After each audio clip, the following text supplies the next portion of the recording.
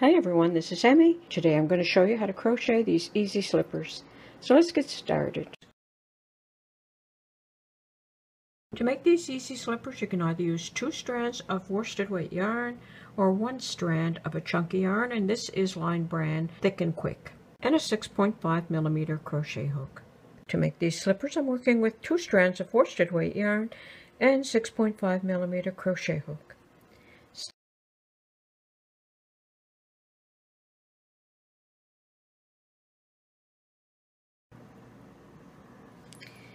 And because I'm using this mixed yarn, you can't really see the texture of the stitches. But I have some here done in a solid color, and you can see that you cannot tell that those are single crochet stitches.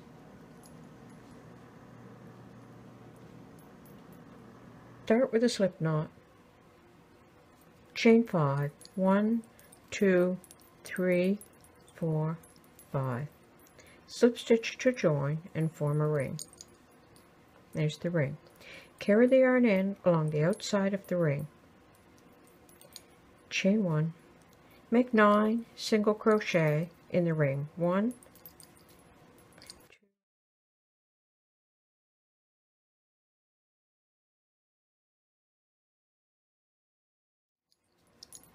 six, seven, eight, and 9. Slip stitch to join in that first chain one. And now you can pull this yarn end and close up that hole. Chain one and turn. Make two single crochet in each stitch all the way around. One, two, one, two one two. All the way around. Okay I've made two single crochet in each stitch around at the end of the row. Slip stitch to join. Okay so now I'm going to chain one and turn. And now I'm going to work this single crochet that does not look like a single crochet when it's finished. So I'm going to work so this chain one takes the place of the first stitch so now I'm going to work only in the back side of the stitch for this stitch, so single crochet, and then the front side of the next stitch, single crochet. In the back side, single crochet. In the front side, single crochet. You're going to repeat that all the way around. Back side, front side, back side, front side all the way around. Okay, I worked all the way around at the end of the row, slip stitch to join.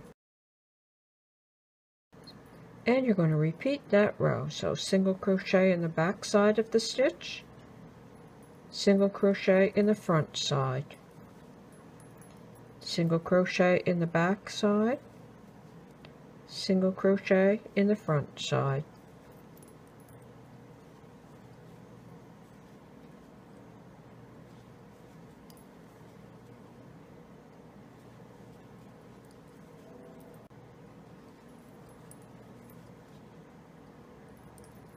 Like that you're going to continue to make as many rows as you need for the front of the foot.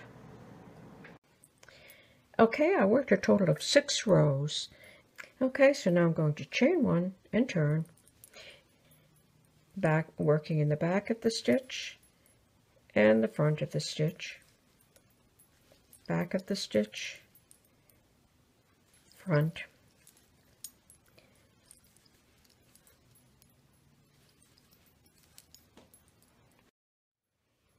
Okay, I worked across the row, but I'm going to leave the last four stitches not worked into. So I'm going to chain one and turn. That takes the place of the first stitch. So work in the back of the stitch and the front and the back and the front. You continue around. Okay, I worked across that row, and I'm going to continue to work this row until the slipper is as long as the foot. Okay, I've gone ahead and I've worked as many rows as I need for the length of the foot, like that. And now you'll slip stitch to join the heel. So fold the work, pass through a stitch on one side, pass through a stitch on the other side, and slip stitch. You continue that all the way down to join the heel. Like that. Now to make the band, I'm going to attach two strands of yarn in the heel end. And chain two, one, two. Double crochet where you would normally see the next stitch. Now you're going to skip where you would have the next stitch and you're going to go and work in the next.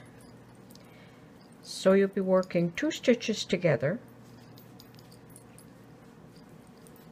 like that and then skip the equivalent of the next stitch.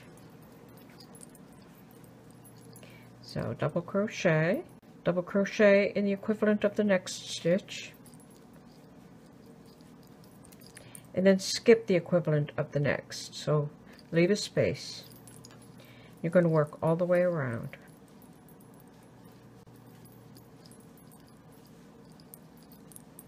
Skip the next equivalent of a stitch.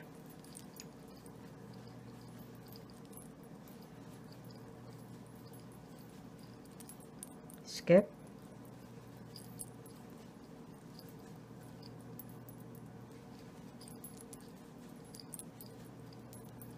Skip.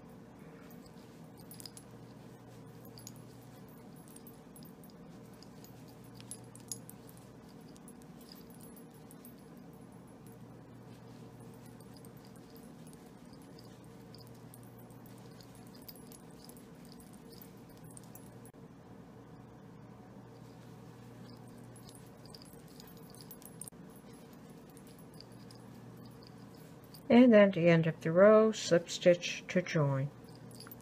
Chain two. Now you're going to work the front post double crochet. So the same as making a double crochet yarn around the hook. Insert under the post of the double crochet. And complete the double crochet.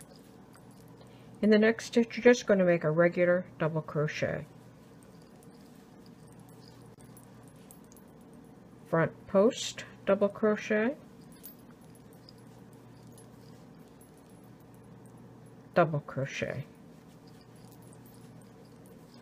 I'm going to repeat all the way around. Okay I worked all the way around. At the end of the row slip stitch to join. And fasten off. And there's the finished slipper. And there you go. That's how easy it is to crochet these slippers. Thanks for watching. Bye for now.